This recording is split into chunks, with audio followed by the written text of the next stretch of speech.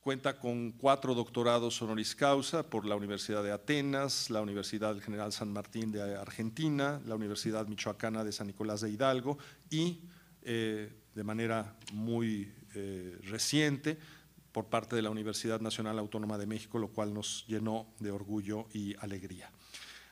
Ha sido un gran divulgador eh, de los temas que son de su predilección intelectual, triple vocación de investigador, docente y difusor de la cultura. Eh, tiene una larga trayectoria en la radio eh, con eh, programas que han sido premiados y un número importantísimo de, de libros, siendo una de sus especialidades, además, como he mencionado, la Revolución Mexicana, eh, la figura del gran sabio Alfonso Reyes. Sin más preámbulo, querido Javier, te paso la palabra para eh, escucharte disertar en este foro de conceptos muy amplios. Gracias, Sergio, por coordinar la mesa y por esta eh, presentación excesivamente generosa. Le agradezco de verdad con con enorme gusto. Y gusto también me da pues estar en una mesa con Ana Barahona y con Arnoldo Kraus, o sea, tremendos intelectuales, eh, en el caso de Arnoldo además un intelectual público. Bueno, yo estoy feliz de estar en esta mesa y en efecto esta mesa representa la pluralidad del Seminario de Cultura Mexicana y creo que también esta mesa representa el título de todo este ciclo, que si no mal recuerdo es una mirada al futuro. Y en este caso, eh, en esta mesa, las ideas para todos, ¿sí? Me encanta porque mi programa de radio se llama Historia para Todos, así que eh, me siento en familia. Bueno, la pregunta para, yo quisiera, Sergio, tener una intervención ahora y para no cansar al público luego terminar con otra intervención. Sí, es un poco, un poco la, idea, es primero una, intervención, después… Sí, porque eh, si no aburrimos con largos monólogos a los, a los eh, que nos acompañan hoy. Eh, la pregunta sería, ¿cómo va a ser la historia futuro, la historia de México? Y yo respondería rápidamente, la historia académica pues seguirá haciendo eh, indagaciones, investigaciones, aportaciones, nuevas interpretaciones. Pero la pregunta es más bien, ¿cómo será la historia pública? Porque hay diferentes formas de hacer historia, hay una historia académica, una historia pública, una historia de difusión, en fin.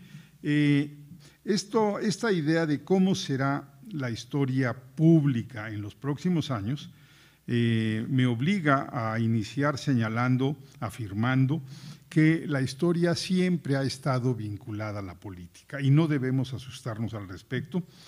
Eh, por ejemplo, se usa para legitimar o para deslegitimar gobernantes, lo mismo para eh, legitimar o para deslegitimar opositores, también se usa mucho para precisar las diferencias, las animosidades entre diferentes países, entre diferentes estados.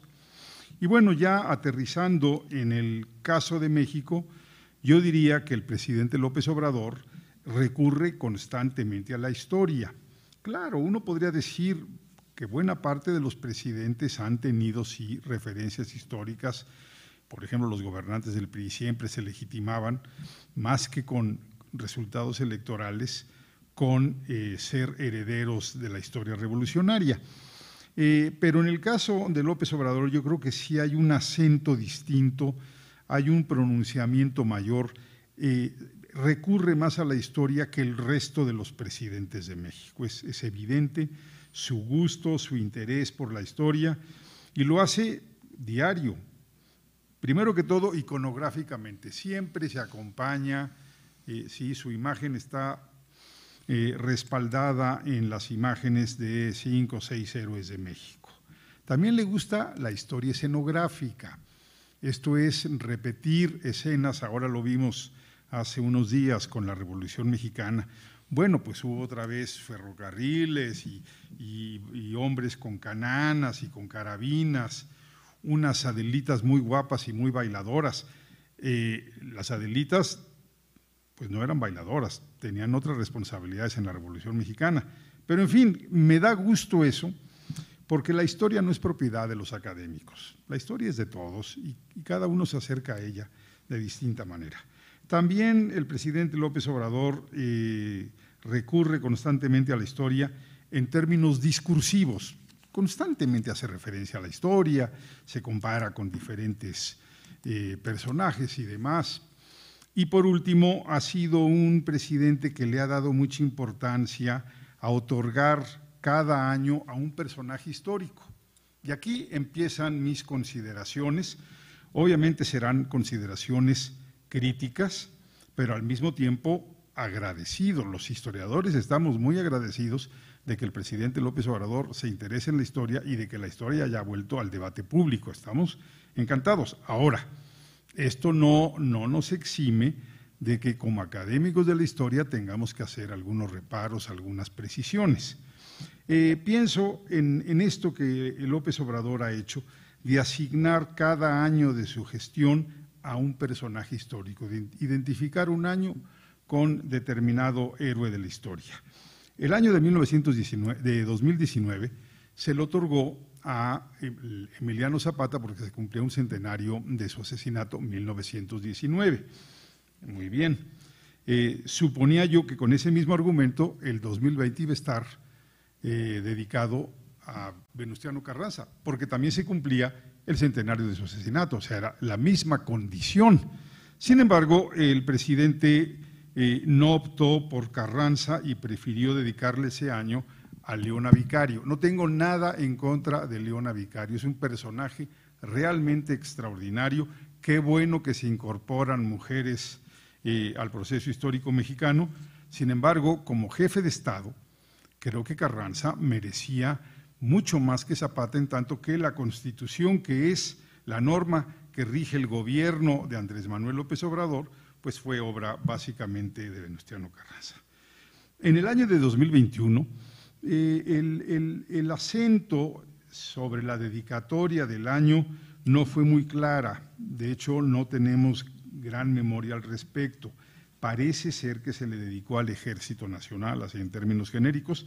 Yo hubiera preferido que se le dedicara a Vasconcelos como un compromiso con la educación, que ha sido uno de los procesos más importantes del siglo XX. Para mí, el mejor instrumento de equilibrio social, de ascenso social, de igualitarismo social, más que cualquier otro programa social que se haya inventado en los últimos años, es la educación. Eso es lo que realmente hace ascender a los jóvenes a una mejor condición económica y sobre todo a una vida más digna, más interesante y a una condición de ciudadano. Entonces yo se lo hubiera dedicado a Vasconcelos. Y este año del 2022 se lo dedicó a Ricardo Flores Magón y entonces mis preocupaciones son mayores. Eh, como un jefe de Estado considera que el personaje del año es un, un, héroe mexicano cuya virtud fue odiar al Estado, destruir al Estado. no me imagino un jefe de Estado homenajeando con esa intensidad a un anarquista. Lo que ha hecho es en letras pequeñas decir Ricardo Flores Magón, precursor de la Revolución Mexicana. En ese sentido, estamos homenajeando a un segmento de la vida de Ricardo Flores Magón. Ricardo Flores Magón fue precursor de la revolución, no sabemos si de la mexicana, yo estoy convencido de que no, sino de una revolución distinta, pero a partir de 1908 y hasta su muerte en 1922, o sea, 14 años de la vida pública de Ricardo Flores Magón, no fue precursor de la Revolución Mexicana, fue un crítico contumaz acervo y agrio de la Revolución Mexicana. Eh, bueno, paso a otro punto.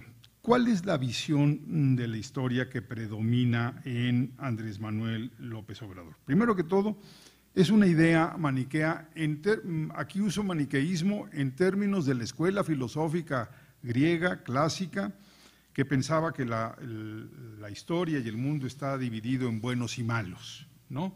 Entonces hay unos buenos con los que, juntos harán historia y hay unos, hay unos malos que se van a ir al basurero de la historia. Yo aquí le digo como historiador, la historia no tiene basureros, o sea, todos tienen un, lugar para ser interpretados. Por otro lado, es una visión de la historia en donde hay pocos personajes, héroes, y luego un genérico pueblo. Y más bien le gusta juzgar que comprender la historia. Ahora bien, repito, todo esto celebrando que le interese la historia, que todo el día estamos en debates públicos, entrevistas, declaraciones, la historia ha tomado un lugar preponderante en el debate nacional. Pero quiero concentrarme, eh, Sergio, si, me das unos minutos más todavía, en el concepto directriz que es el de la cuarta transformación. Primero que todo, eh, no, creo que sea un secreto el decir que eh, hablar de una cuarta transformación implica una enorme dosis de soberbia histórica. O sea, presuponer que uno está a la altura mm, de los procesos y personajes que hicieron las tres transformaciones previas me parece, me parece eh, por lo menos soberbio. Pero además, y creo que más importante, es, es un concepto paradójico, es un concepto contradictorio, porque eh, hablar de una cuarta transformación es muy útil para una campaña política, para una campaña electoral. ¿sí? invitar a la gente a hacer un gran cambio. Eso al momento de votar tiene muchos ecos. Sin embargo, es muy riesgosa en términos políticos para la evaluación final, porque al término del sexenio se le dirá en qué consistió tu transformación, cuánto avanzó tu transformación, qué cosas se hicieron y qué cosas no se hicieron. Pero claro, los políticos siempre piensan más en el momento de la elección que en el momento del juicio final. Eso pasa a ser secundario. Y quisiera yo tomar unos minutos, Sergio, pero me puedes interrumpir y decir, déjalo para después. Adelante, vamos con buen tiempo. ¿Sí? Sí, bueno, entonces traigo unas ocho, nueve ideas alrededor del concepto cuarta transformación. Primero que todo, eh, reflexión número uno. No contempla, en sus tres transformaciones, no contempla la principal, la mayor transformación de nuestra historia, que fue la conquista de México. Eh, al margen de la violencia que la hubo, o sea, no estoy negando que la conquista no fue un, proceso de verdad severo, triste, con muchas muertes, muchos daños, muchas destrucciones. Sí, pero por otro lado, en esa misma conquista, repito, sin omitir las partes duras de ese proceso, nació una nueva, nuestra civilización, una nueva raza, un nuevo país. Eso es lo importante. Eh, una segunda reflexión es que eh, al presidente López Obrador le gusta más la perspectiva épica, la lucha, ¿sí? la confrontación, en lugar de preferir el proceso mismo de la transformación, que es un proceso posterior. A mi modo de ver es más importante y voy a poner algunos ejemplos. En la independencia, claro, hubo confrontación bélica, pero lo realmente importante para un estadista, yo entiendo que los historiadores militares se concentren y prioricen la lucha armada, pero un estadista lo que tiene que, priorizar es la transformación posterior. ¿Qué fue la independencia al margen del grito y de las luchas? Eh, pues fue la creación de un país propio, Nueva España se convirtió en México, un país de criollos, de mestizos y de población originaria. La reforma, al margen de las batallas que hubo durante todo ese periodo, que yo diría son tres momentos bélicos, Ayutla, guerra de reforma y guerra de intervención, lo que realmente importa para un estadista ¿sí? es que se creó el Estado moderno, laico, mestizo, con Juárez, con los liberales que lo acompañaron, con los moderados que estuvieron también y sobre todo con algunos militares como Porfirio Díaz. La revolución, sin omitir la violencia de 10 años, lo importante es que se construyó un país con un gobierno justiciero, democrático, pero, repito, para comprobar que al presidente le interesa más lo épico, lo justiciero, eh, él alude más veces a Zapata y a Villa, por cierto, ya anunció que el año próximo va a estar dedicado a Pancho Villa, en referencia al centenario de su asesinato en Parral, julio de 1923. Pero alude más a Zapata y a Villa que a Carranza y a la Constitución de 1917. Yo no lo objetaría en un colega, no lo objetaría en un historiador militar, en un historiador de los movimientos sociales. Sin embargo, me llama la atención que así lo plantee un estadista, el jefe del Estado mexicano. Eh, tercero, tercera eh, reflexión, eh, no considera los costos sociales de las transformaciones. Todas las transformaciones previas han tenido costos enormes. Por ejemplo, la independencia, la destrucción de la economía previa, 40 años de anarquía por falta de un proyecto unificador. O sea, no tuvimos un momento de estabilidad hasta pues casi los 1970s. También nos costó el no aprovechamiento de la revolución industrial. Llegamos tarde a la revolución industrial, ¿sí? en términos de minería, industria textil, telégrafos, ferrocarriles, por estar dedicados a la anarquía hasta los 1860-70. La reforma. La reforma dividió al país entre una sociedad católica y un gobierno laico. La reforma dividió al país entre liberales y conservadores, marginando a los moderados, que creo que sería la solución para el país. Entre más moderados tengamos, el país va a ir mejor. Y por último, o sea, acabar con estas eh, confrontaciones irreductibles. Solo con moderados se puede lograr. También la reforma nos provocó el aislamiento de Europa. El fusilamiento de Maximiliano nos costó un aislamiento brutal de muchos años. La revolución, ¿qué les digo? El millón de muertos, que es en términos demográficos incluso más costoso, pero no voy ahorita a entrar en este tema, simplemente quedémonos, creo que son suficientes, ¿no? Un millón de muertos como costo social. La pregunta sería, ¿cuáles van a ser los costos, los costos sociales de la cuarta transformación? No se han contemplado, no se han considerado y debería reflexionarse sobre eso.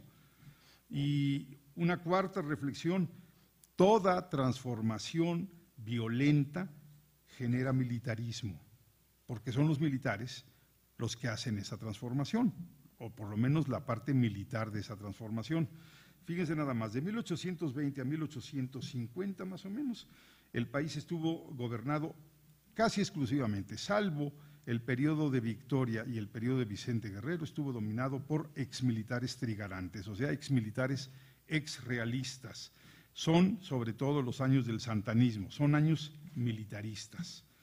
Después de la reforma, el largo periodo de Porfirio Díaz.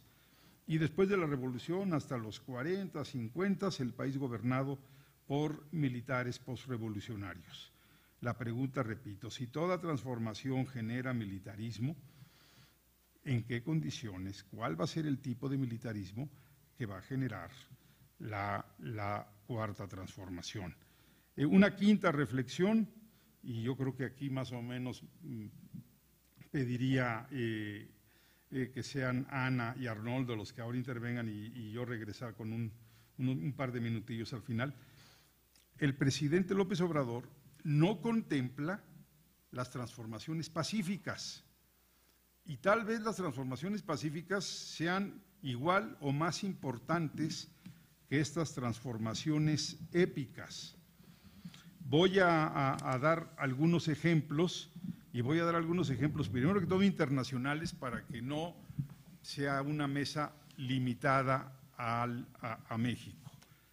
Transformaciones pacíficas de alto impacto en la historia mundial, el Renacimiento y la imprenta, la Reforma, la Ilustración con sus críticas al poder absolutista y al papel cultural, ideológico, económico, social y político de la Iglesia, la revolución industrial, el positivismo y la generación de ciencia a finales del siglo XIX y principios del siglo XX, la revolución tecnológica de finales del XX y principios del XXI. Tal pareciera que estas transformaciones no épicas no son relevantes, no son importantes y son importantísimas. A nivel mexicano, yo pienso que la transformación más importante, eh, digamos, de los últimos 100 años, y, sé lo que estoy diciendo, estoy convencido de lo que estoy diciendo, La transformación más importante es una transformación pacífica, que es la transformación, la transición a la democracia, que nos trajo alternancia, pluralismo, el valor de la crítica. Eh, en cambio, hoy vemos que se favorece el monopolio del poder, que se combate la crítica o se rechaza, que, también se niega la existencia de reglas y normas, que no se promueve la educación, la ciencia y la cultura. Algo muy preocupante, no se acepta la participación de la vida pública, en la vida pública de la sociedad civil, sus organizaciones. Las organizaciones de la sociedad civil atienden una red de problemas importantísimos. Hay algunas organizaciones de la sociedad civil que atienden educación, que atienden cosas ambientales, que atienden cosas de salud. Es insensato rechazarlas porque el Estado no tiene capacidad para enfrentarlas eh, eh, solo él. Y en síntesis, el rechazo a la sociedad civil quiere decir que estamos a favor, bueno, no yo, pero parece sí que la clase política contemporánea está a favor de un país estatista, en donde los principales protagonistas y actores son los miembros de la clase política y por definición los miembros de la clase política son contrarios, digamos, a, compartir el poder, a cederlo. Yo creo que con eso me quedo por lo pronto. Gracias, eh, querido Javier. Eh, bueno, me parece de gran dificultad y, al mismo tiempo un gran logro el eh, poder hacer una reflexión prospectiva de la historia pero justamente eh, lo que ha hecho eh, Javier García Diego ha sido eh, describir cómo se hace uso o cómo se entiende la historia desde el poder público en la actualidad. Para continuar con, con esta mesa que, como mencioné al comienzo, es variopinta y que da cuenta evidente de, la naturaleza multidisciplinar del Seminario de Cultura Mexicana, vamos a escuchar ahora a Ana Barahona, quien realizó sus eh, estudios doctorales en la Facultad de Ciencias de la UNAM, donde es profesora titular, además de ser eh, fundadora del área de estudios sociales de la ciencia y tecnología.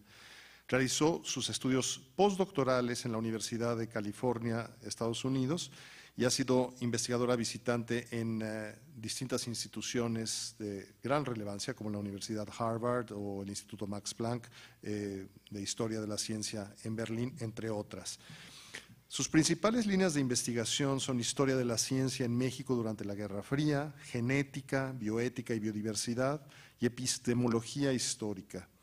También tiene un particular interés en la relación entre la epistemología y la enseñanza de las ciencias con más de 60 artículos especializados, varios libros de, investigador, de investigación, más de 20 libros de divulgación y docencia para educación básica, media y superior.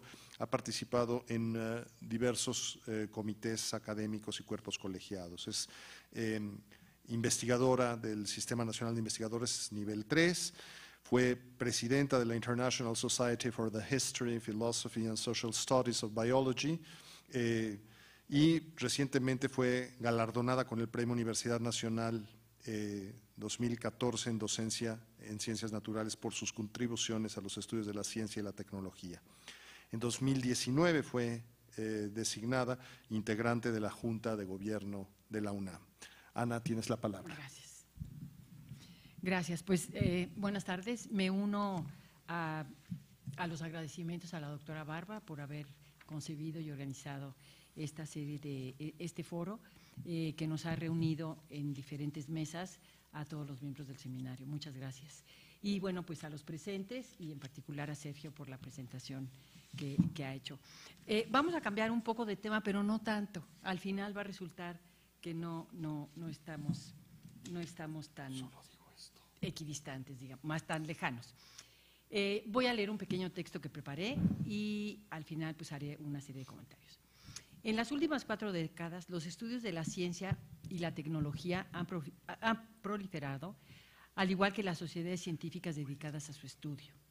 Estos estudios y sociedades han sido muy importantes para el entendimiento de qué es eso que llamamos ciencia y cuál es y ha sido su impacto en las sociedades modernas. Gracias a ello, ahora contamos con una idea más clara sobre la naturaleza de la ciencia, sobre los métodos que utiliza, el papel de la evidencia con base en la cual se construyen explicaciones, el papel de los, de los, debates en el establecimiento de normas y modos de ver a los objetos científicos y el papel de la historia y la filosofía de la ciencia en su enseñanza. Y entonces una pregunta, que así empezó el doctor García Diego, sería, ¿por qué es importante la ciencia en las sociedades actuales? Eh, yo me remití a un manifiesto de finales del siglo eh, del siglo XX, los albores, digamos, ya del presente, que ocurrió en 99 en Budapest, en Hungría, en la Conferencia Mundial sobre la Ciencia para el siglo XXI, el futuro de la ciencia. Eh, esta, declaración eh, se firmó y tiene, eh, los puntos originales son 46, pero para los efectos de lo que yo quiero transmitirles, solamente les voy a leer algunos cuantos. En nuestros días hace falta un debate democrático vigoroso y bien fundado sobre la producción y la aplicación del saber científico. Esto se dijo en el 99, pero perfectamente es una cosa que podemos seguir argumentando el día de hoy. Para hacer frente a los problemas éticos, sociales, culturales, ambientales, de equilibrio entre ambos sexos, económicos y sanitarios, es indispensable intensificar los esfuerzos interdisciplinarios recurriendo a las ciencias naturales y sociales el fortalecimiento del papel de la ciencia en pro de un mundo más equitativo, próspero y sostenible requiere un compromiso a largo plazo de todas las partes interesadas, sean del sector público o del privado, que incluyan un aumento de las inversiones y el análisis correspondiente de las prioridades en materia de inversión y el aprovechamiento compartido del saber científico. ¿Puedo empezar? No, es broma. No, no, no. Eh, otro punto. Eh, la necesidad cada vez mayor de conocimientos científicos para la toma de decisiones, ya sea en el sector público o en el privado, teniendo presente en particular la influencia que la ciencia ha de ejercer en la formulación de políticas y reglamentaciones. 1999-2022 que el acceso al saber científico con fines pacíficos desde una edad temprana forma parte del derecho a la educación que tienen todos los hombres y mujeres y que la enseñanza de la ciencia es fundamental para la plena realización del ser humano, para crear una capacidad, científica endógena y para eh, contar con cuidados activos e informados. Otro punto. Hoy más que nunca la ciencia y sus aplicaciones son indispensables para el desarrollo mediante los apropiados programas de educación e investigación, las autoridades, sea cual fuere su ámbito de competencia y el sector privado, deben prestar más apoyo a la construcción de una capacidad científica y tecnológica adecuada y distribuida de manera equitativa, fundamento indispensable de un desarrollo económico, social, cultural y ambiental regional. Y el último, la enseñanza científica en el sentido más amplio, sin discriminación y que abarque todos los niveles y modalidades, es un requisito previo fundamental de la democracia y el desarrollo sustentable. Año 2022, aunque esto se firmó en el 99. En los últimos años se han tomado medidas en todo el mundo para promover la enseñanza científica para todos. Es esencial que se realicen esfuerzos para mejorar la comprensión de los adelantos científicos logrados. La enseñanza, la transmisión y la divulgación de la ciencia deben construirse sobre esa base. Bueno, esta declaración es una muestra que da cuenta de la importancia de la ciencia en las sociedades modernas llamadas sociedades del conocimiento, al verla como una de las principales características del mundo contemporáneo y que más que ninguna otra actividad humana distinga la época actual de los siglos anteriores. Actualmente, bueno, estamos viviendo una nueva revolución tecnocientífica, postindustrial, a la que, según el doctor García Diego, México llegó, llegó tarde en el siglo, en los años 1800, debido a nuestro, a nuestro marasmo. Eh, pero este, es cada vez más importante en todas las esferas de la vida y muestra nuestra dependencia a la creciente actividad ocupacional basada en conocimiento científico y técnico. Esto significa que las sociedades modernas pueden describirse como sociedades del conocimiento basadas en la penetración en todos los ámbitos de la vida del conocimiento tecnocientífico. Los grandes avances en el campo de la ciencia y la tecnología influyen de manera profunda en los procesos naturales y sociales. No podemos negar esta parte. Esta influencia es evidente ya que la ciencia y la tecnología como instrumentos de mediación entre la sociedad y la naturaleza han transformado los estilos de vida del ser humano y sus relaciones con el entorno cultural y natural. Ahora sabemos más acerca del funcionamiento del mundo, del universo. En materia de salud se han erradicado muchas enfermedades, se han encontrado terapias para otras, mientras que en el aspecto tecnológico se han desarrollado la agricultura moderna, la industria de la transformación, etcétera, etcétera.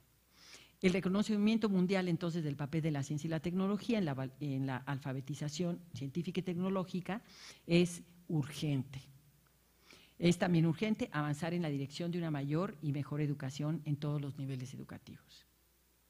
Bueno, pues esta visión actual de la enseñanza de las ciencias eh, tiene eh, algunas visiones. Por un lado, la cultura o alfabetización científica permite la preparación de los sujetos como miembros de una sociedad determinada para la toma de decisiones por medio del conocimiento básico de las ciencias, sus formas de producción y sus explicaciones y quehaceres.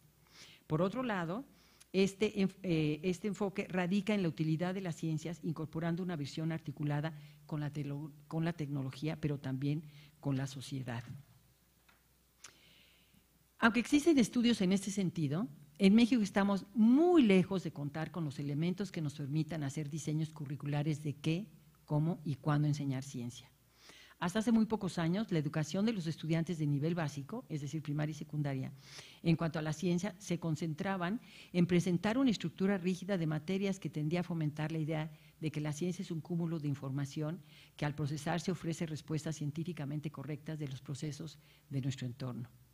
Por el contrario, gracias al desarrollo de los estudios históricos y filosóficos de las ciencias de las últimas décadas, ahora se piensa que es a través del planteamiento de los problemas que se han conformado históricamente las disciplinas que forman la ciencia y no a la inversa. En los planes y programas actuales de las ciencias de nivel básico y medio superior en los mexicanos de ahora, por ejemplo, se incluyen aspectos metodológicos, conceptuales y epistemológicos que significan un gran avance con respecto a la concepción moderna de la ciencia. Sin embargo, debe hacerse un mayor hincapié en que, la, eh, en que, la, enseñanza de las ciencias debe formar parte de los currícula de la educación de todos los niveles, a través de estudios, bueno, diferentes metodologías, eh, de estudios de casos, de reconstrucción histórica, etcétera, etcétera. Eh, yo quisiera, aquí, aquí termina lo que, lo que escribí, pero sí quisiera terminar comentando lo siguiente. en las diferentes eh, reformas curriculares del, siglo pasado. La más, una de las más importantes fue la de 1974, cuando se hicieron las, eh, se decidieron en, eh, la Convención de Chetumal, se decidieron las diferentes áreas de, de, conformación disciplinaria. Entonces ya no se iba a enseñar biología, química y física, sino que se iban a enseñar ciencias naturales, ciencias sociales, etcétera. Esta reforma duró muy poco. Y eh, de esta reforma, por ejemplo, se desprendieron, en, los casos en los que yo soy especialista, que empezó a enseñarse un tema fundamental en biología, que es la evolución de los seres vivos en la Tierra. Pero esta, esta inclusión fue una inclusión muy corta, este, atendiendo no solo al nivel de páginas que tenían los libros de texto, sino también al modo en, el que se enseñaba. La siguiente eh, eh, gran eh, reforma curricular ocurrió durante el gobierno del presidente Salinas de Gortari con la gran eh, reforma, eh, ahorita se me fue el nombre, pero ahora era la reforma educativa, bueno, ahorita me acuerdo. Y en, en, esa reforma se incluyeron, en el caso de, de las ciencias, muchos aspectos, no solo metodológicos, sino conceptuales y sobre todo de la práctica docente y de la práctica del, magisterio en estos temas. Se produjeron libros nuevos, se produjeron este, libros para los maestros, se capacitaron, se hicieron muchos cursos y finalmente quedó una reforma de, que fue del 1993, si mal no recuerdo empezó, Cedillo era el secretario de Educación Pública en ese entonces, la modernización educativa, ya me acordé, así se llamaba, el plan de la modernización educativa, y produjo unos libros maravillosos de texto de nivel primaria, que luego se, eh, consolidó con la reforma del 2006, siendo el presidente Fox el presidente de, México, pero el secretario de Educación era Reyes Tamés, este, y se consolidó a nivel de secundaria, donde obviamente de nueva cuenta se reforzó muchísimo la enseñanza de las ciencias, de la biología, la química, la física y las matemáticas. ¿Qué ocurrió después? Después vino una debacle cuando terminó el gobierno de Vicente Fox y entró el, gobierno de Vicente Calderón. Entró en funciones, eh, no me acuerdo quién ahorita eh, fue el secretario, ah, creo que era Josefina, Vázquez Mota, y el subsecretario era Fernando González, este, yerno de la doctor, de la maestra Elvester Gordillo, para mayores datos. Y ahí vino la debacle, desde mi punto de vista, de la enseñanza científica en México de la cual, por cierto, no nos hemos no solo recuperado, sino que estamos todavía peor con las iniciativas que pretende hacer este, eh, la Secretaría de Educación Pública y la Subsecretaría de Educación Básica de este, de este, de este, en este sexenio. Eh, lo, que, lo que ocurrió fue que en una ocasión, y con esta anécdota le voy a ceder ya la palabra al doctor Kraus, eh, a mí me invitaron a participar, como yo participé en la reforma del 93 y de 2006, como universitaria desde la UNAM, me invitaron a participar en la del 2009, que fue la de, la de Calderón. Y entonces el subsecretario me mandó llamar este, por mediación de un amigo muy querido mío, Gilberto Guevara Niebla, porque Felipe eh, y, digo, el subsecretario y Gilberto, los dos son de Sinaloa.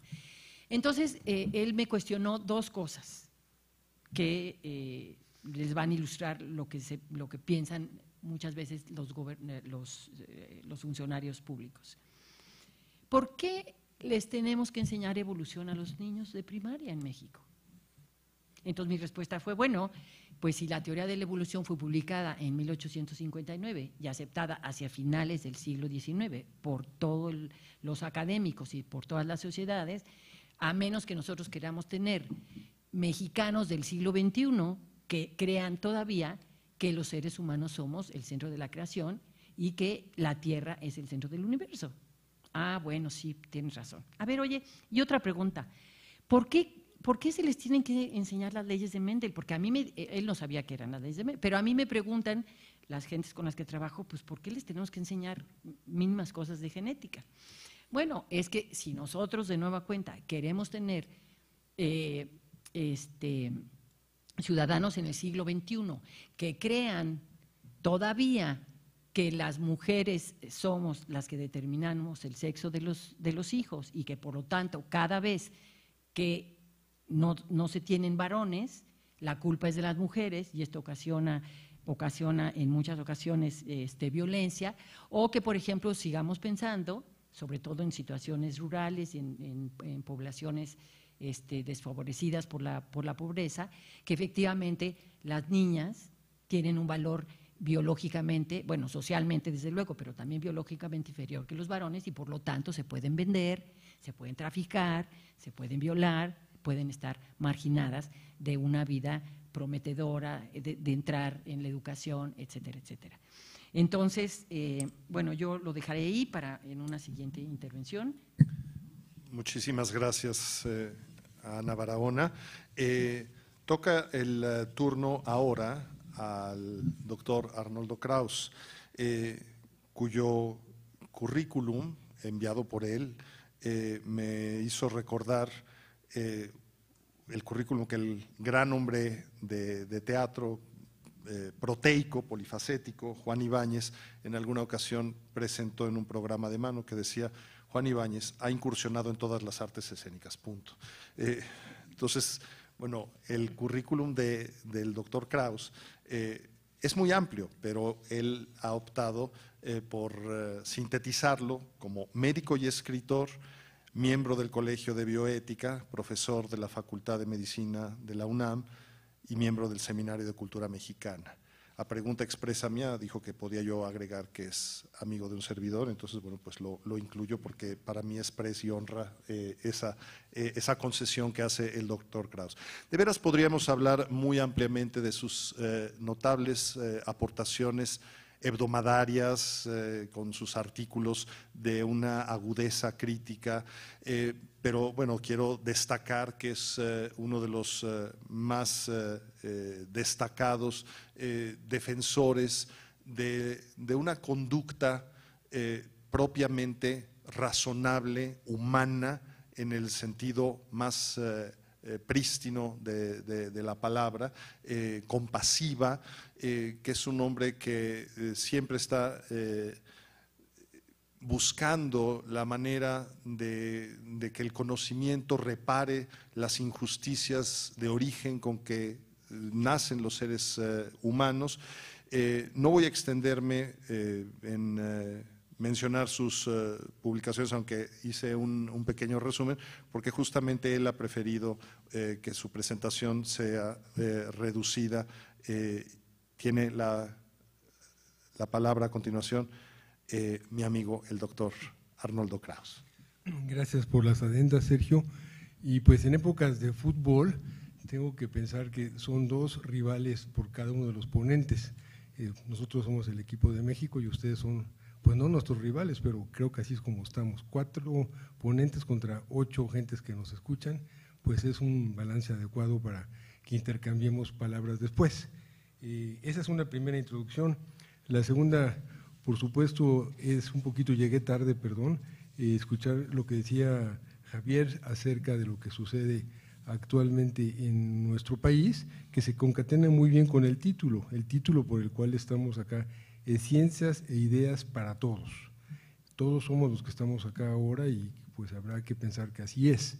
Y por último, un poquito también escuchando a Ana, eh, los presupuestos en educación después de la Segunda Guerra Mundial de los países que han florecido, nada tienen que ver con los presupuestos de educación de los que tenemos en México.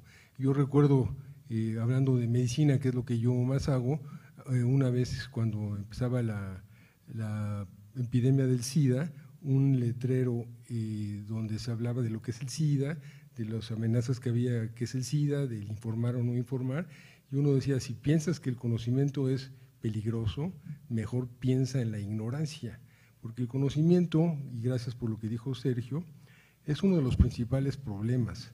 Es uno de los principales problemas porque si el conocimiento no se apellida justicia, libertad, autonomía, igualdad, derechos humanos, dignidad, etcétera, pues hay que cuestionar el valor del conocimiento. Actualmente eh, viven más científicos en general de todas las materias que ustedes quieran, de medicina, de ciencia, de física, etcétera, que los que han vivido toda la época. Es decir, acumulamos cada vez más conocimiento por el número de científicos en cualquier área que los que se ha acumulado en toda la vida. Es decir, el conocimiento hoy se multiplica geométricamente pero hay que pensar en que si sirve o no sirve el conocimiento.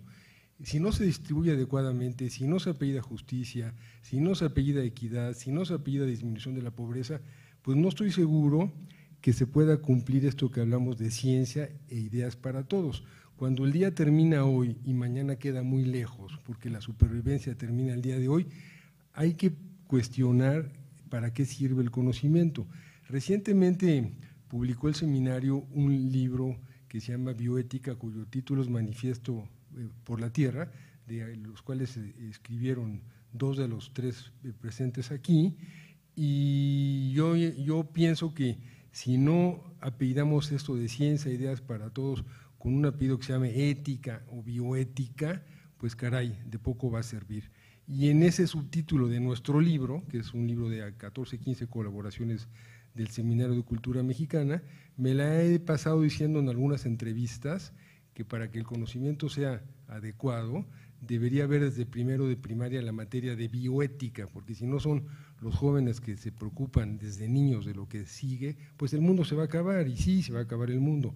No es el tema de ahora hablar de contaminación, pero bueno, siempre es importante saber en la distribución adecuada del conocimiento y para eso existe la ética y por supuesto hablo de ética laica, no de ética religiosa. Apunté tres ideas para hablar con ustedes. La primera es la obligación de compartir el conocimiento. Si no se comparte el conocimiento, entonces tiene poca utilidad. Hay un autor que inicialmente era físico y matemático, creo que combinaba ambas eh, especialidades, luego se hizo un gran novelista, en, a mediados del siglo pasado. Su nombre era C.P. Snow, sigue siendo C.P. Snow, que él hablaba en un libro muy interesante que tiene que se llama Las dos culturas, que está traducido al español, en donde él postulaba que existe un gran divorcio entre las ciencias y las humanidades. Los científicos escriben ciencia, pero no entienden lo que sucede con las humanidades, y las humanidades hablan de humanismo, pero no entienden qué pasa con la ciencia. Y este divorcio postulaba en una conferencia importante que se llama The Red Lecture, él postulaba que mientras no haya un acuerdo y un diálogo adecuado entre filósofos y científicos, humanistas y científicos, pues caray, el progreso de la humanidad va a ser inadecuado. Esto lo dijo en los años 50, por supuesto que tiene razón. Vemos un gran divorcio actualmente entre el cúmulo de conocimientos profundos, profundísimos. Ya Ana decía cómo penetramos al genoma y lo que hacemos con el genoma y las enfermedades que se pueden tratar inútero. Todo eso está muy, muy, muy bien, pero no está nada bien si pensamos cuánta gente muere de malaria, de tuberculosis, de desnutrición por falta de agua. ¿Qué, es lo que prevalece? Prevalece la forma en que se utiliza el conocimiento, por supuesto. Si ustedes leen las cifras alegres del Banco Mundial o del Fondo Monetario Internacional, eh, organizaciones que yo detesto profundamente, pues parece que va el mundo fantásticamente bien. Hoy estaba leyendo algunas cifras de la OMS, de la Organización Mundial de la Salud, y caray, también dicen todo lo que ha disminuido, pero no dicen todo lo que sigue persistiendo. Sí lo dicen, pero lo contraponen con lo que hemos mejorado. Ahí hay que cuestionar esto del cuestionamiento, hay que pensar qué es el título de nuestro seminario. ¿De verdad es ciencia, ideas para todos en el México del cual nos platicaban un poquito Javier García Diego y Ana Barahona? Pues no, por supuesto que no. Y en este gobierno, que no es el tema de la sesión, pues menos aún, mucho menos aún. Entonces, mientras que no se cumplan estas ideas de que haya un diálogo entre científicos y humanistas, el conocimiento va a quedar disperso, no va a ser bien utilizado, no se va a distribuir. Y posteriormente salió otro libro hace como 15 años que en lugar de las dos culturas, como se llamaba el libro que dije de C.P. Snow, se llamaba Las Tres Culturas y ahí se agregaba la sociología. La sociología como un motor que aglutine a filósofos, a científicos y que se distribuya en toda la población que quiera realmente entender qué son las ciencias, qué son las ideas y quiénes somos todos. Palabra muy complicada quiénes somos todos, tendría que volver a decir cosas que me interesa decir. 3.500 de los 8.000 millones que hay ahora en la humanidad viven con 3 o 5 dólares al día. Entonces, ¿quiénes somos todos? Hay que preguntarnos quiénes somos todos y a qué se refiere el título del seminario, que está bien, está bien, pero tampoco está bien, esa es la verdad. El segundo punto que yo quería tocar es un poquito lo que sucede actualmente entre los tecnofílicos y los tecnofóbicos, los que aman la tecnología y los que detestan la tecnología. Yo me inclino más por el segundo grupo, por los que detestan la, la, tecnología. Y no solo por mis canas, es porque trato de pensar qué es lo que pasa con la tecnología bien usada y con la tecnología mal usada. La pregunta esencial es, ¿Usamos a la tecnología o nos usa la tecnología? ¿Y cómo la podemos distribuir en caso de que la usemos y que seamos nosotros los que decidimos qué, qué hacer con la tecnología? Se supone que la tecnología es neutral, nos la pasamos repitiendo eso, pero eso es mentira.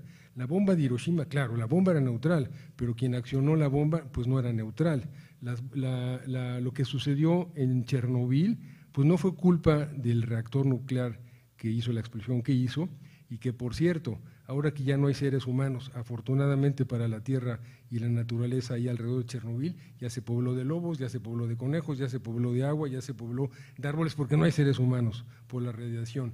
Pero vamos, la tecnología no es neutral, hay que alejarnos de esa idea y hay que saber que si la vamos a usar tenemos que distribuirla. En medicina, que es lo que yo más hago, la explosión de la tecnología, un poquito mencionó Ana, en este momento es tremenda, impresionante la explosión. La pregunta es cuánta de ella sirve, cuánta se malutiliza, cuántas cosas hay detrás de ella por ganancias económicas para médicos, para hospitales, para compañías de seguros, para abogados, etcétera, etcétera, etcétera, un etcétera muy grande que lo regreso a la palabra de bioética o de ética, que bueno, me faltó decir eh, que para mí, hablando de conocimiento de estas cosas, tendríamos que pensar que la bioética laica, que habla de todo esto de conocimiento, es la filosofía del siglo XXI, de lo que queda del siglo XXI. Perdón por mi amarillismo, pero si leemos lo que va a pasar en una década o dos décadas, pues a lo mejor solo queda la Tierra y no quedamos nosotros. Cuando hablo de tecnología y tecnofobia, siempre me gusta recordar a Henry David Thoreau, quien lo haya leído y quien haya leído sobre todo su libro Walden, podrán recordar lo que era esta gran persona, que es el que creó el término realmente de desobediencia civil, que era un antiesclavista fenomenal y que era muy amigo de México. Eh, él se fue un tiempo a probar qué era la naturaleza, esto es en 1850 aproximadamente, al lago Walden, de ahí el libro que menciono. Y él dijo que quería vivir a expensas de lo que él hacía. Construyó una casa, pescó, sembró, se encerró ahí, estuvo como un año y dos o dos años encerrado con la naturaleza. Y cuento esta anécdota porque en esa época le tocó ver que empezaron a pasar los trenes, trenes de vapor, que estaban sustituyendo a las carretas a las que él se había acostumbrado. Él se preguntó en esa época qué es lo que va a suceder posteriormente porque los trenes de vapor ya estaban sustituyendo a las carretas. ¿Y qué es lo que seguiría, sucediendo cuando creciese la tecnología? Su pregunta es buenísima, porque cuando queremos hablar de conocimiento, el conocimiento esencialmente, y esto lo va a concatenar con el último punto del que voy a hablar, eh, se transmite de persona a persona y la información se transmite de persona a persona y con esto voy a, concluir hablando de lo que es actualmente eh, el centro para mí, para saber qué hacemos con la ciencia y con las ideas para todos, para poderlas distribuir. Copié un pequeño pedazo de un gran poema que me gusta mucho de T.S. Eliot, que se llama La Roca. Voy a leer unos muy pequeños renglones y luego haré una pequeña desglose de lo que digo. Cito a T.S. Eliot, repito, es parte del poema La Roca. Escribe T.S. Eliot, invenciones sin fin, experimentos sin fin nos hacen conocer el movimiento, pero no la quietud, conocimiento de la palabra, pero no del silencio, de las palabras, pero no de las palabras con P mayúscula. ¿Dónde está la sabiduría que hemos perdido en el conocimiento? Pregunta T.S. Eliot. ¿Y dónde está el conocimiento que hemos perdido con la información? Él va escalando de la información al conocimiento a la sabiduría. Mientras que no logremos entender qué es lo que pasa con la información que proveemos, cuándo llegamos al conocimiento y cuándo llegamos a la sabiduría, todo este mundo de las ideas y este mundo al que nos ha convocado Nora Barba en esta ocasión, pues queda bastante sepultado. Y sobre todo en épocas de noticias falsas o fake news, como ustedes quieran decirlo. Eh, no estoy seguro si la magra asistencia el día de hoy a, esta reunión sea por la calidad de los cuatro ponentes, a lo mejor por eso no vino nadie, ¿verdad? O, realmente porque no hay interés en este tipo de temas, o por la hora. Pero, pues caray, o por todo, dice Ana, pues quizás por todo. Pero pues caray, nos interesa a los que estamos aquí reunidos, a todos los miembros del seminario, a Nora que ha organizado esto, eh, tratar de compartir nuestras ideas. Y claro que es como eh, eh, Carlos Ancira decía que él actuaba igual ante una persona que ante mil personas. Y caray yo lo admiraba pero no creo que sea cierto. Yo creo que es mejor que vengan muchas personas y que nos digan que no están de acuerdo sobre todo con ellos tres más que conmigo gracias Muchísimas gracias, querido Arnoldo. Eh, vamos a eh, pasar a la segunda, la segunda ronda, eh, un poco más breve, para poder dar pie a una serie de preguntas que aquellas personas que nos están acompañando en línea, que no son pocas, afortunadamente, están dirigiéndonos para cada uno de los, eh, para cada uno de los ponentes. Entonces, eh, para eh, redondear las, las, ideas, el doctor García Diego tiene la, palabra. Si hay posibilidad de, diálogo o, de opinión, también los, los insto, queridos, a que pues participemos en, la reflexión del, colega, de la colega. Eh, y bueno, después pasamos, eh, pasaremos a, las preguntas que van dirigidas a cada uno de ustedes. Javier, por favor. Gracias, Sergio. Bueno, yo eh, retomo la palabra y, aprovecho esta cita que hizo Arnoldo del poema de T.S. Eliot porque creo que, se aplica a lo que estamos viviendo hoy en México y a lo que estaba yo analizando en mi primera intervención. eh, estamos en un momento en que se exalta la transformación, se glorifica la transformación y eso implica mucho movimiento y condenar a la quietud, implica glorificar, favorecer a la estridencia y eh, condenar al silencio y creo que es un error brutal lo que, está, lo que estamos pasando. Yo quisiera retomar eh, ahora ya algunas, algunas reflexiones sobre esta idea de la transformación. Claro, pensando en la cuarta transformación, pero haciendo referencia a las anteriores. Habíamos visto ya mm, varias, habíamos hecho ya varias reflexiones sobre la transformación, déjenme continuar con otras más. Seis, la sexta. Todas las transformaciones de nuestra historia se definen por sus retos. La independencia luchó contra el imperio hispánico y logró el, corte umbilical que teníamos con el imperio católico y el nacimiento de un nuevo país. La reforma tuvo como eh, adversario a la intervención francesa, la revolución a la dictadura de Porfirio Díaz. Mi pregunta es, ¿cuál es el adversario de la cuarta transformación? ¿Cuál es el reto? Si el reto es el neoliberalismo, pues estamos en problemas, porque no está claro que México sea del todo un país neoliberal. Yo creo que está muy lejos de ser un país neoliberal, creo que nunca lo ha sido y voy a dar algunos ejemplos. Un país ¿sí?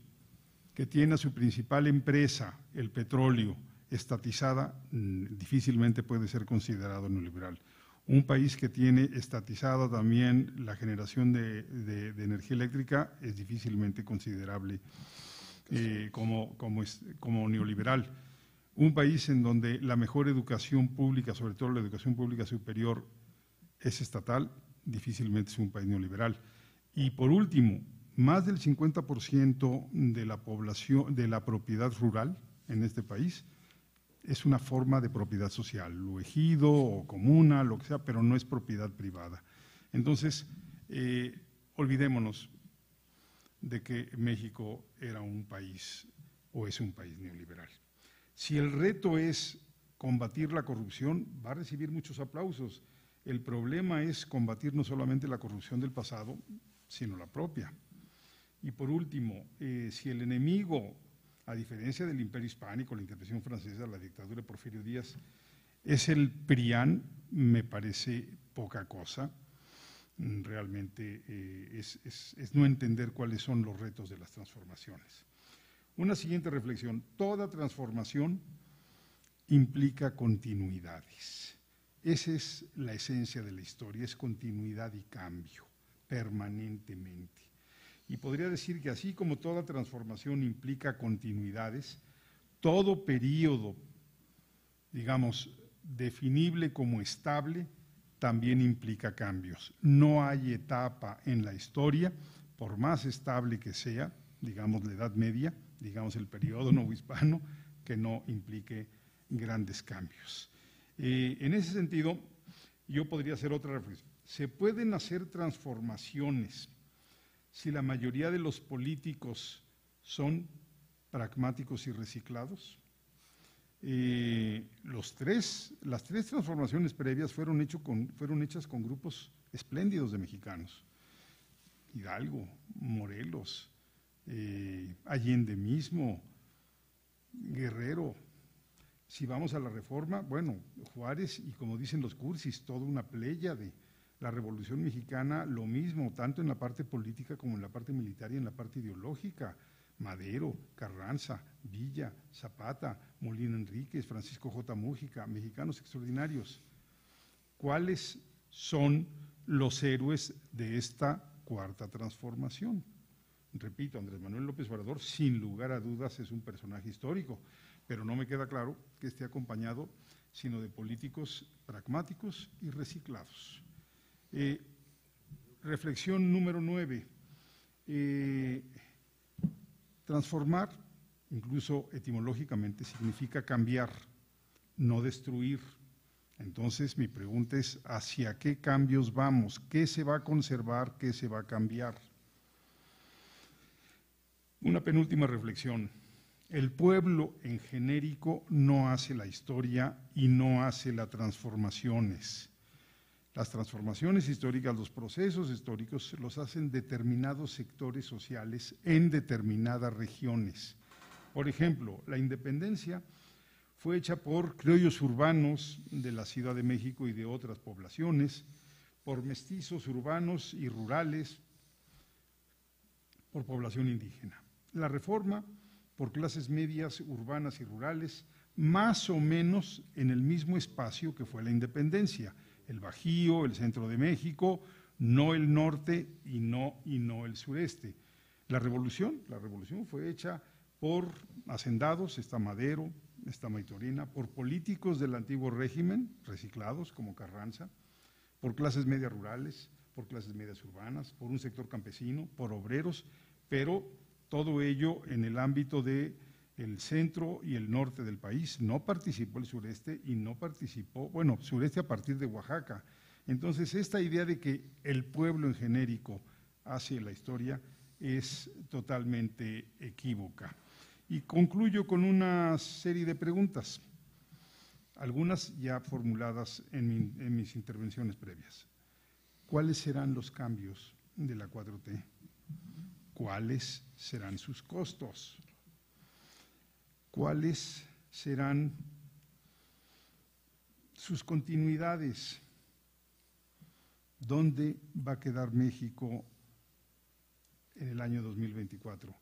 Hay un principio, la revolución permanente de León Trotsky es inaplicable en la historia, eso está totalmente documentado y me imagino que aquí un médico y Ana, que es científica, podrá decirme, no puede vivir un cuerpo humano en permanente efervescencia.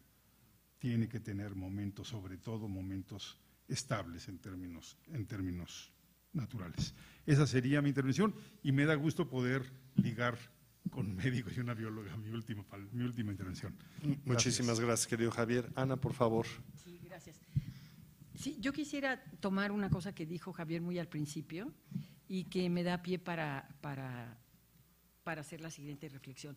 Javier decía, la historia está ligada a la, ha estado ligada a la política. Bueno, el caso de la ciencia no es, no es la excepción y sobre todo su enseñanza, más que otra cosa. Les voy a poner un solo ejemplo. Eh, el, el, proyecto Manhattan que dio lugar al, al, desarrollo de, la, de las bombas porque había diferentes tipos, bomba nuclear y bomba y bombas de, de, fisión o algo así se llaman. Este, estuvo encargado por un ingeniero educado en MIT, este, Vannevar Bush, que fue el jefe de la Carnegie Institution, Institution y posteriormente fue el encargado de llevar a, eh, de conducir el proyecto Manhattan. También es menos conocido por un programa que le llamó MEMEX, que finalmente no fue exitoso en su momento, pero que finalmente dio lugar a lo que ahora conocemos como la WWW.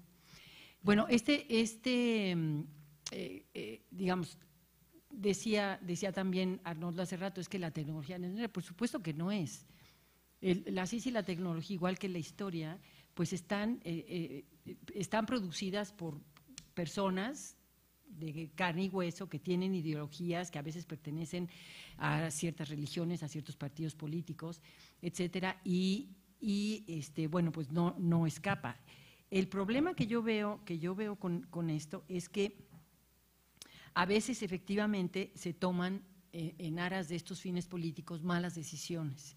Y estas malas decisiones a veces afectan a miles de, de, ciudadanos. En el caso en que yo soy experta de la enseñanza de las ciencias, este, y de la biología, pues los gobiernos han tomado decisiones tan malas que efectivamente el nivel de lo que nuestros estudiantes saben de ciencias y de matemáticas, sobre todo si vemos los, este, los resultados de las, eh, de las pruebas esas que se llaman PISA, que son pruebas de evaluación internacional, que se, eh, en donde se evalúan tres cosas, eh, el literacy, que es este, el, bueno, el, el, español, ciencias y matemáticas, esos son los tres campos que evalúa, y México ha estado siempre en los últimos lugares con respecto a esas evaluaciones, ya sea tanto regional, comparados con América Latina, como comparados con el resto, con el resto del mundo. Entonces sí se han tomado malas decisiones en, este, en los años pasados.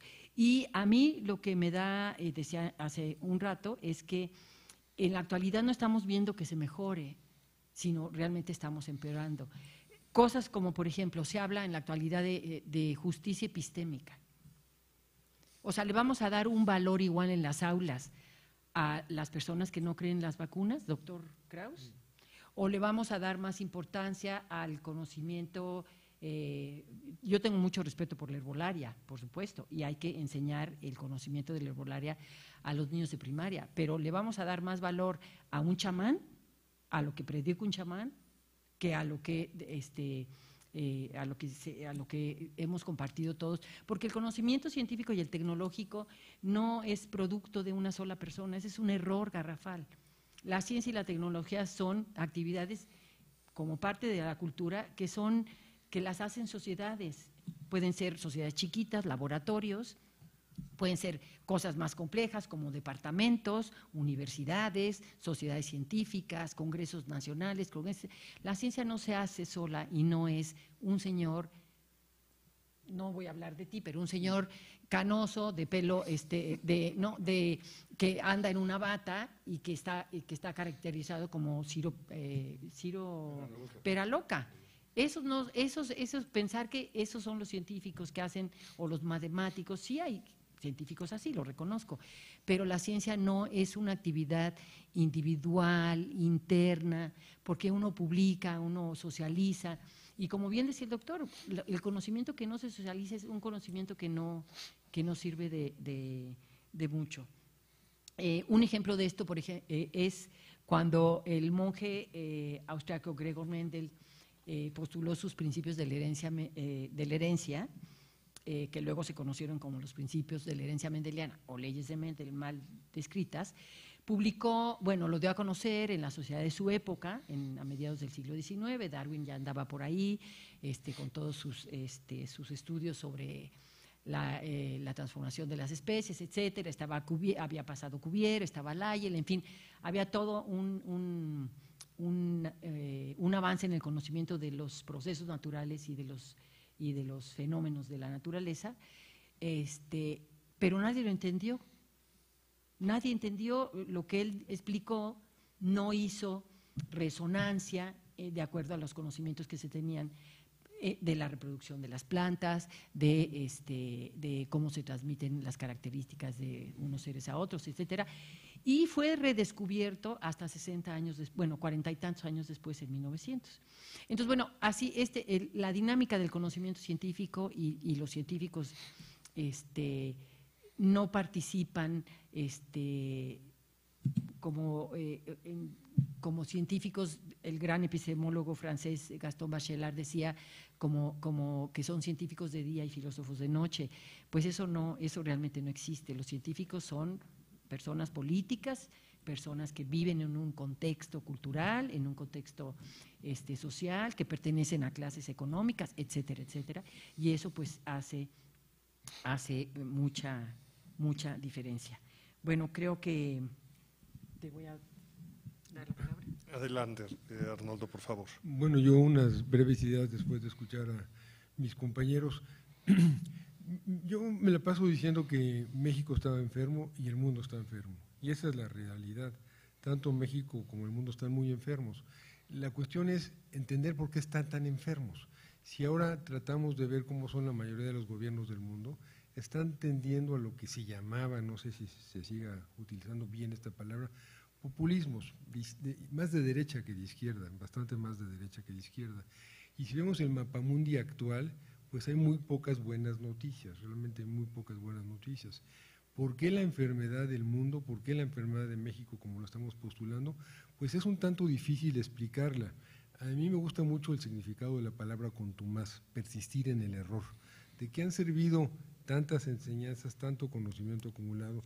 Porque ahorita entre todos podríamos decir lo que sabemos de música, de historia, de ciencia, de medicina, y caray, el conocimiento que se ha acumulado es increíble pero el desuso o el mal uso del conocimiento prevalece. Eh, la pregunta es, ¿por qué está tan enfermo el mundo? Aceptemos que está enfermo el mundo. ¿Por qué está tan enfermo México? Aceptemos que está enfermo. quienes tengan palabras optimistas sobre la situación actual del mundo, me, encantaría escucharlas.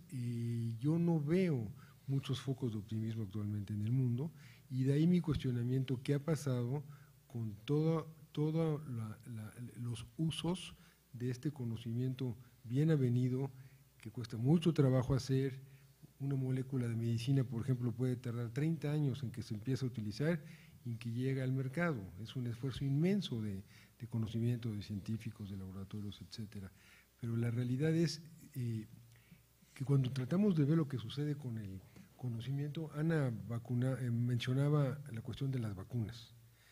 En Estados Unidos, un hijo de los Kennedy tiene un movimiento antivacunas muy importante, que ha crecido de una manera espectacular. No sé si hayan oído ustedes de esto. De decenas de miles a cientos de miles a millones de gentes que lo leen y que se inscribieron y que aporta dinero y que consigue dinero. Tiene una cantidad de seguidores que no la recuerdo, pero sé que el conocimiento es exponencial, es geométrico y es ir en contra del conocimiento y gana es en contra del conocimiento. Quisiera decir que los creacionistas en Estados Unidos, que es un grupo absolutamente detestable, pues a veces le ganan la batalla al conocimiento. Eso es lo que hace Kennedy cuando tiene este número de adeptos. Entonces, ¿por qué perdemos los que creemos que tenemos la razón? ¿Dónde, dónde mal usamos lo que sabemos? Eh, ¿Cuántos políticos ustedes piensan que tienen conocimiento de la ciencia, de la cultura. Cuando uno lee revistas muy serias como The Economist, que para mí es la revista hace una serie de críticas a la inmensa mayoría de, los políticos, muy grande, porque no tienen la idea, ninguna idea de lo que es el conocimiento, la cultura, etcétera. Bush padre llegó a la presidencia sin haber estado nunca en Europa. En su época cualquiera mochilero iba a Europa, pero fue presidente de Estados Unidos sin conocer Europa. Una tragedia, no hablo de conocerla bien, uno puede viajar como quiera viajar. Nuestro presidente no va a ninguna junta y por eso aparentemente ningún mexicano gana ninguna de las cuestiones importantes en el Banco Interamericano de Desarrollo. Actualmente, ¿qué fue lo que se perdió? El, Banco, el BID, eh, eh, la, la, OPS, Organización Panamericana de la Salud, con la que dirige ahorita el Instituto de la Mujer. No hay ningún mexicano que haya ganado un puesto, pues porque nadie conoce a AMLO, lo conocemos acá. Pero bueno, eso es porque no se exponen al mundo de las ideas. Entonces, pensar que los políticos son los responsables de todo esto, pues sí, vamos a culpar a los políticos en todos los idiomas, creo. No sé cuántos se salvan. Se nos fue eh, nuestra querida alemana, eh, eh, se fue el nombre, Merkel. Ah, Merkel. Nos queda Jacinta Ardens en Nueva Zelanda. ¿Y quién más nos queda, caray? Los escandinavos y quizás Trudeau en Estados Unidos. Pero a ver, ¿a qué político se le admira actualmente? ¿A quién se le admira? Pues yo creo que esa es la enfermedad del mundo, ¿no? Los políticos. Este, hace poquito escribí un artículo que se llamaba Anarquía. Yo creo que tenemos que regresar a varios principios anárquicos. Es una opción ya imposible de llevar a cabo, pero los principios de la anarquía de eh, igualdad, de trueque, de dar un lugar a las mujeres, etcétera, siguen siendo absolutamente válidos y necesarios. Ya, ya sé que la anarquía no se puede llevar a cabo, pero en Bolivia sí ya hay pueblos totalmente que están contra el gobierno y son totalmente anárquicos. Y yo creo que funcionan pues bien, eso pienso que funcionan bien. Entonces, digo, no propongo que matemos a los políticos, no, por supuesto que no, ¿verdad? Pero ¿cómo hacer que un político sea un agente decente? Esa sería una buena pregunta para este seminario. Muchísimas gracias. Eh, bueno, gracias a los tres. Eh, vamos, eh, propongo lo siguiente, porque hay varias preguntas y nos tomaría mucho tiempo formular cada una de ida y vuelta. Entonces, primero para, Javier García, en orden de, exposición, hay varias preguntas para ti. si quieres tomar alguna nota de, ellas, porque voy a, leerte las que se han formulado. Damián Romero pregunta cómo se puede hablar de historia de la manera más imparcial posible. Eh, Federico León eh, pregunta si consideras que el gobierno en turno eh, tiende a manipular la historia para hacer propaganda sobre su propio desempeño. Javier Reyes pregunta si tienes algún ejemplo de cómo aterrizar propuestas concretas para fomentar el diálogo entre la sociedad y el gobierno. Alicia Suárez eh, dice que eh, pregunta cuál es, según, según tú, sería que podrías vislumbrar como los costos de la denominada cuarta transformación. Y nuestra queridísima Clara Husidman, colega eh, emérita del Seminario de Cultura Mexicana, eh, te pregunta si no consideras que combatir la desigualdad, la pobreza y los privilegios materiales son suficientes para promover una profunda transformación. Son las preguntas para ti, Javier. Eh, después pasaré, ya que hayas respondido lo que, lo que gustes y como gustes, le pasaré a Ana las preguntas que le han sido formuladas.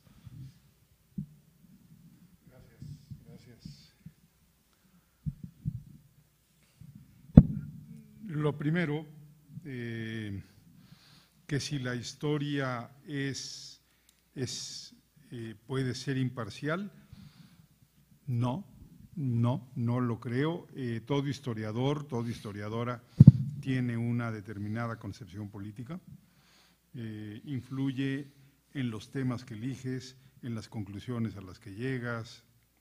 Entonces, no creo en la imparcialidad y tampoco creo en el, eh, en el rigor absoluto y en la verdad total.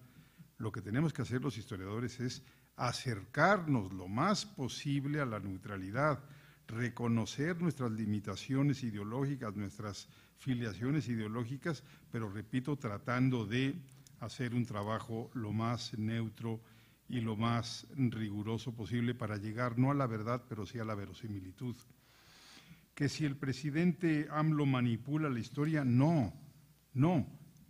Esa es la concepción de la historia que él tiene y la tiene desde hace muchos años, se los puedo asegurar porque he leído y lo he oído en sus textos históricos, él está absolutamente convencido de que para este, los grandes momentos de este país han sido esas transformaciones previas, ¿sí? Eh, la independencia, la reforma, la revolución, está convencido también en que eh, puede haber un nuevo, un nuevo momento épico y tiene eh, también la concepción, lo que decía Arnoldo, su movimiento se llama Movimiento de Regeneración Nacional yo lo que quiero aquí destacar es el concepto regeneración, que es un concepto en cierta medida más que radical, es un concepto evolucionista, es un concepto heredado de Darwin en el sentido de que es posible una regeneración de un sistema, llámese político o de todo un país. El diálogo entre el gobierno y los historiadores se da, pero de una manera muy acotada. El presidente tiene eh, diálogo, tiene cercanía con algunos historiadores, pero creo que eh, valdría la pena escuchar a otros historiadores de otras filiaciones políticas, escuchar a las instituciones que hacen historia, constantemente estar atento a qué se produce en el Colegio de México, en la UNAM, en la Academia de la Historia, en fin, para no limitarse a un grupo eh, muy acotado de historiadores, algunos de los cuales son realmente buenos. No voy a dar sus nombres, los conozco hace muchísimos años. ¿Cuáles van a ser los costos de la cuarta transformación? Yo no quisiera achacarle los costos de la pandemia ni de la crisis económica achacada por la pandemia. Esto fue una eventualidad que tuvo que padecer el mundo. La historia nos debe a los habitantes de este planeta muchas vidas humanas, muchos, muchos proyectos truncados y incluso a los que no tuvimos grandes penas nos debe la historia tres años de vida. ¿no? Yo me rehuso a decir que tengo 71, tengo 68, la, la pandemia me quitó tres, pero yo no se los voy a regalar. Eh, yo creo que el costo, el costo mayor es, trata, es regresar al país a una situación eh, de hace 50 años. O sea, el costo puede ser regresar el reloj de la historia en términos económicos, en términos políticos, eh, en términos institucionales, y eso sería gravísimo. Pero sí quiero, me, da mucho gusto la, palabra, la pregunta de Clara, porque eh, combatir las, la desigualdad, combatir los privilegios, es lo que mejor justifica al gobierno actual, siempre y cuando no haya nuevos privilegios. Y segundo, y, Clara sabe muy bien de esto, la desigualdad se combate no simplemente con propuestas románticas, con ánimo justiciero, sino con un rigor analítico, con, un, con, con diagnósticos científicos rigurosos, con transparencia, con análisis, rendimiento de cuentas, con una evaluación de, los programas para acabar con la desigualdad. Pero qué bueno que lo menciona Clara. Para mí el problema fundamental de México ¿sí? no es tanto la corrupción, no es tanto la violencia, sino la desigualdad y la falta de educación. Esa es, si, una, si logramos resolver el problema de la desigualdad, si logramos que todos los mexicanos tengan una vida digna ¿sí? de seres humanos, creo que lo demás se corregirá por añadidura. Muchísimas gracias, Javier. Ana, eh, te leo las siguientes preguntas. Guillermo Ponce pregunta cómo incentivar el estudio de la ciencia en jóvenes universitarios cuando existe un desánimo de los mismos por el acaparamiento de altos académicos en la investigación que no permite el acceso a nuevas generaciones. ¿Cómo se apoya a los jóvenes investigadores en las universidades más allá de ser adjuntos de profesores? ¿Su único camino es el sector privado? Eloy Castañeda pregunta, se habla poco, o comenta, se habla poco eh, del apoyo a las ciencias en el país. ¿Qué propuestas concretas, pregunta, nos puede dar para nosotros que como población civil podamos contribuir a cambiar esto? Miguel Rojas eh, pregunta, ¿cómo se puede capacitar a los profesores para la correcta enseñanza de las ciencias? Luis Sánchez pregunta, cómo solucionar la discrepancia de la educación científica versus la educación religiosa y los principios morales que buscan censurar ciertos aspectos de la enseñanza de las ciencias.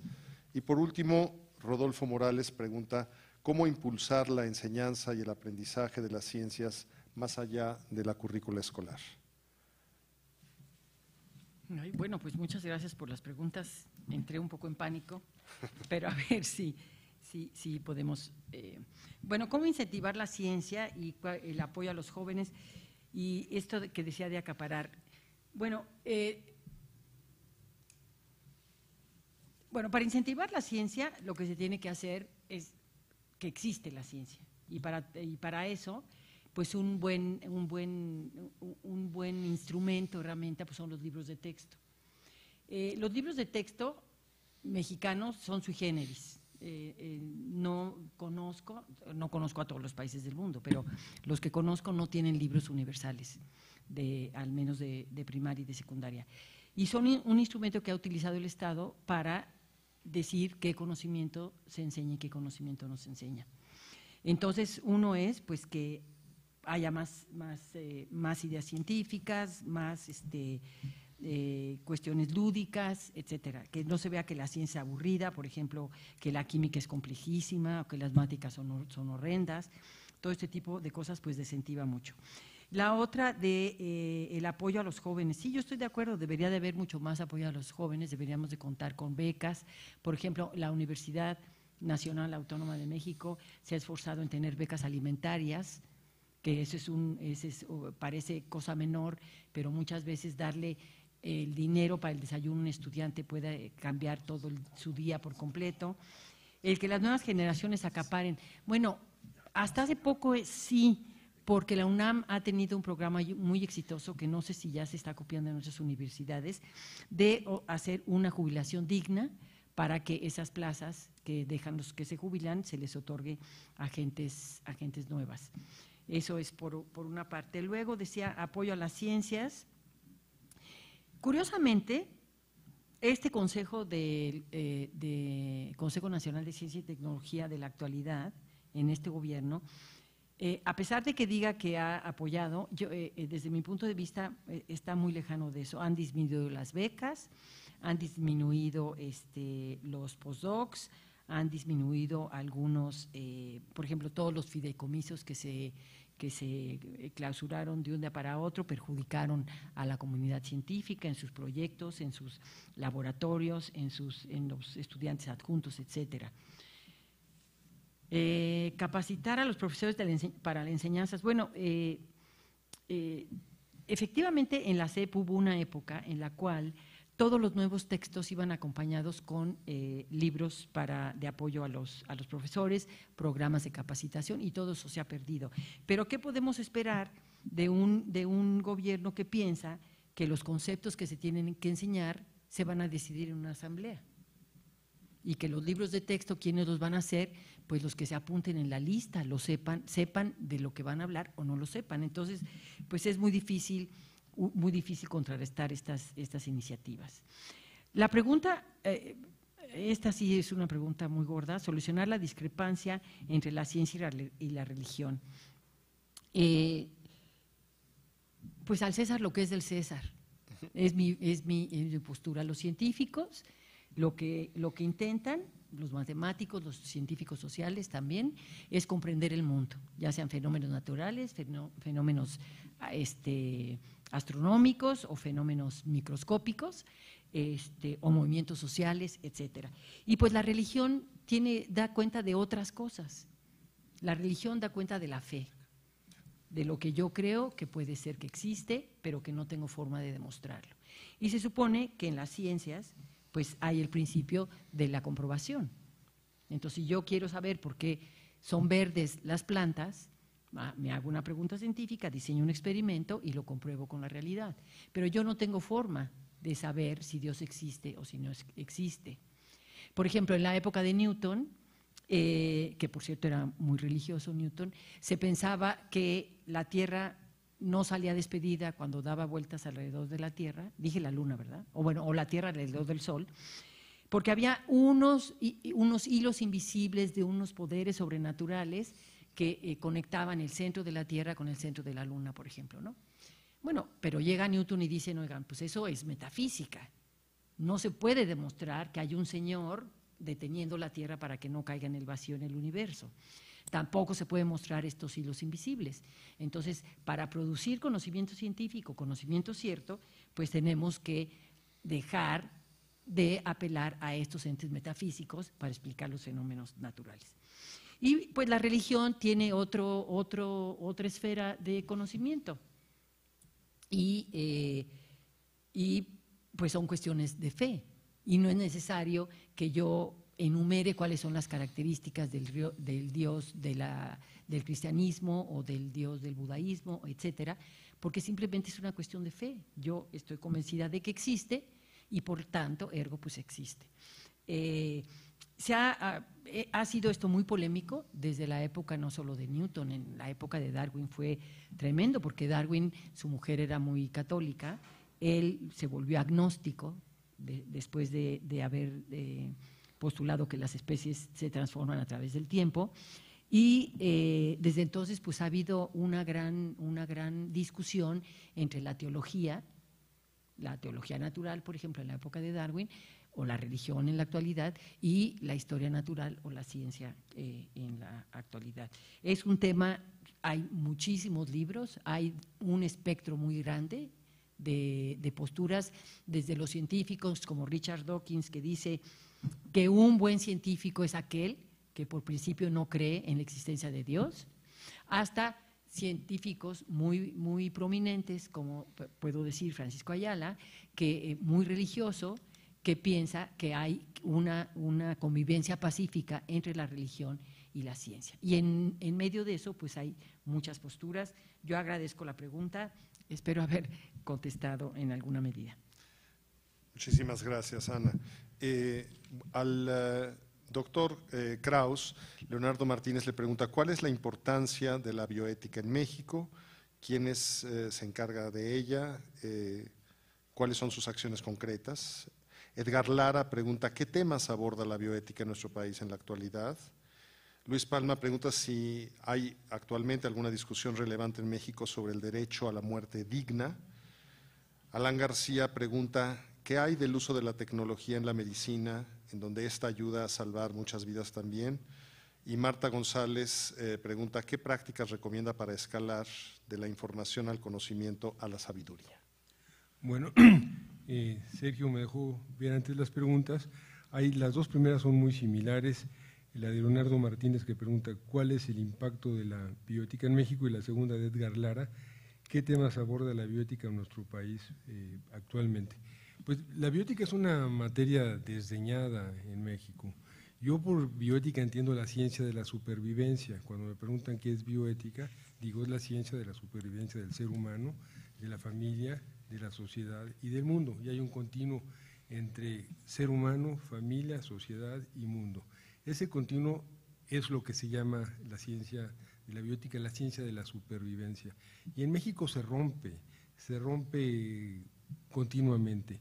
El prólogo del pequeño libro que mencioné anteriormente lo hizo el doctor José Sarucán, eh, miembro emérito de nuestra institución, y que fue un honor para nosotros que lo haya hecho porque ustedes recordarán la forma grotesca en que lo despidieron de la Comisión Nacional de Bioética, forma grotesca en lo que lo despidieron.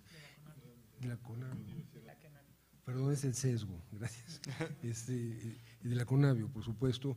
Y mucho tenía que ver con la construcción del tren Maya. El tren Maya es una forma de no respetar las cuestiones eh, de la biología. Bioética es la suma de bios, biología y ética, filosofía, y fue una razón por las cuales salió. Pero si no quiere, si quieren ir un poquito más lejos, Francisco Toledo, este gran mexicano, en proceso, y cuando se inició lo del tren Maya, él hizo tres o cuatro entregas en donde hacía sus maravillosos dibujos, pinturas, donde había un, tren pasando y destruyendo una pirámide, un tren pasando y destruyendo una comunidad eh, indígena y Toledo sabía de lo que hablaba. Y esa es una de las razones por las cuales la biótica en México, yo diría, tiene cero importancia. A mucha gente le pregunto, ¿Cuántas refinerías se están construyendo en el mundo? A toda la gente que le pregunto me dice que ninguna. No sé si ustedes sepan, sí. Cero. O sea, somos primer lugar en refinerías en el mundo. Compramos una que no sirve hace poco en Texas y estamos construyendo una refinería que todo el mundo dice que cómo se construye una refinería que está muy por abajo del nivel del mar. Curiosamente la están haciendo los Países Bajos, que yo pensaba que contaban con alguna ética. Entonces, realmente estas dos preguntas sobre eh, la importancia que se le da a México, en México a la biótica es cerca de nula. La pregunta que sigue, caray, no tiene que ver con, lo, con la plática, pero pues sí con algo que me interesa, la hace Luis Palma y me pregunta qué hay de la muerte digna en México, que sería tema de otra conversación. Diría que hay poco, que el actual secretario de Salud no tiene la menor noción de lo que es morir con dignidad y no hay discusiones inteligentes en el sistema de salud mexicano sobre morir con dignidad. Si ustedes ojean los periódicos y se habla de morir con dignidad o no se habla, que insisto, no es una pregunta por la cual nos tiene reunidos, pero que sí es una pregunta interesante eh, porque se concatena con la que sigue. La, siguiente pregunta que me hicieron, eh, hablan del uso de la tecnología que salva vidas. Por supuesto que salva vidas, pero también hablando de morir con dignidad, cuando no se usa bien la tecnología y cuando, quien, eh, cuando el médico es usado por la tecnología, pues en lugar de prolongar la vida, como dicen algunos enfermos, se prolonga la muerte, que tendría que ver con esa pregunta de morir con dignidad. Sí, la pregunta que me hacen, la tecnología salva muchísimas vidas y es muy bienvenida. El problema para los médicos y de los médicos es que se han alejado mucho de las cuestiones que tienen que ver con la medicina que es la filosofía en esencia. En la Grecia antigua, la población creía más que nadie en los filósofos y el segundo grupo de personas a los cuales se acercaba la población eran los médicos, porque estaban cerca de la población.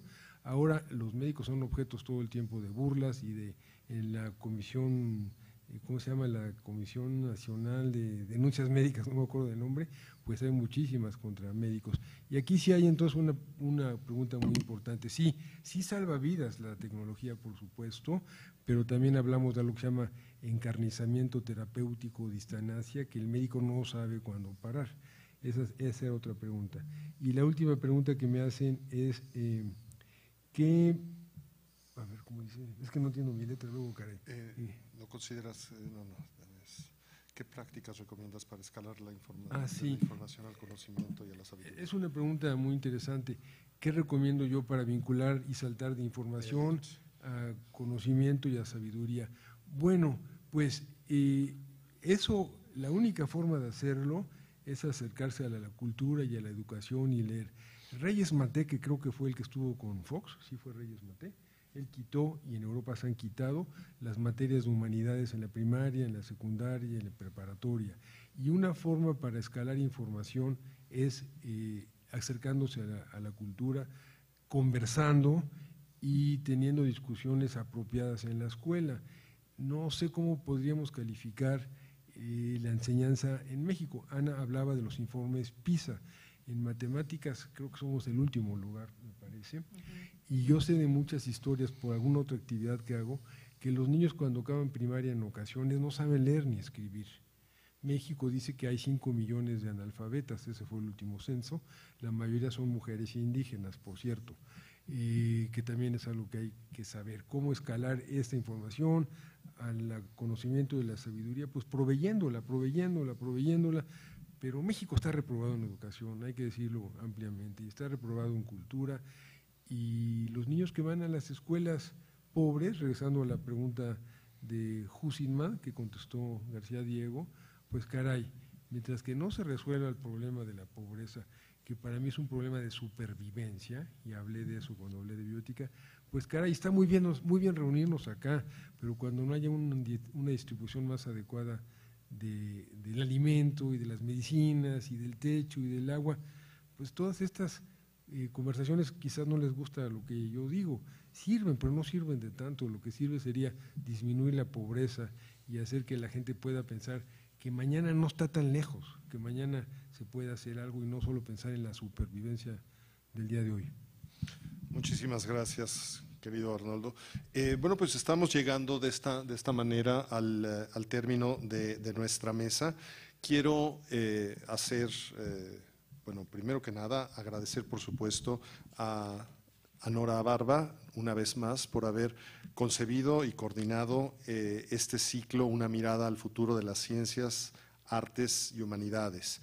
A lo largo de este, de este ciclo, que comenzó en el mes de septiembre, se han abordado temas sobre las artes en la era informática, de la piedra al acero, del papel a la nube, hacia el futuro político y social de México, administración y derecho, del microscopio al telescopio y esta tarde ciencia e ideas para todos.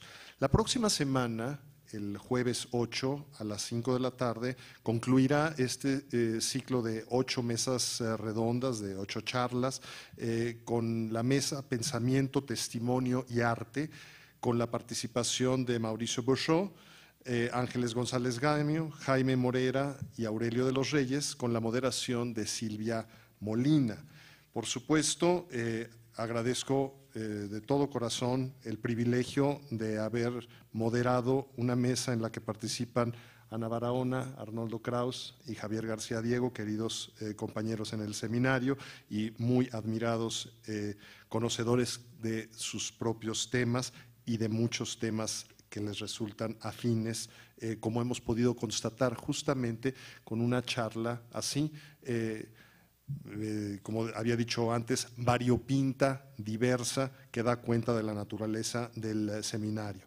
Aprovecho antes de, despedirnos para agradecer eh, las, los saludos que desde nuestra corresponsalía en Chihuahua nos envía Jesús Antonio Clavé agradecer a quienes nos han acompañado eh, presencialmente en el Foro Castalia del Seminario de Cultura Mexicana en nuestra sede aquí en Ciudad de México y por supuesto a todas las personas que se han unido eh, en esta transmisión eh, a través del canal de YouTube del Seminario de Cultura Mexicana. Y por último, aprovecho también la oportunidad para eh, externar a nombre de todos eh, los colegas del Seminario de Cultura Mexicana nuestra felicitación a Felipe Leal, presidente de la mesa directiva, quien eh, recibe en la Feria Internacional del Libro de Guadalajara un homenaje, el homenaje ARPA FIL 2022. Muchísimas gracias, querido Felipe. Muchísimas gracias, Ana querida, Arnoldo, Javier, gracias. Nora, muchísimas gracias. Gracias a todos ustedes. Muy buenas tardes.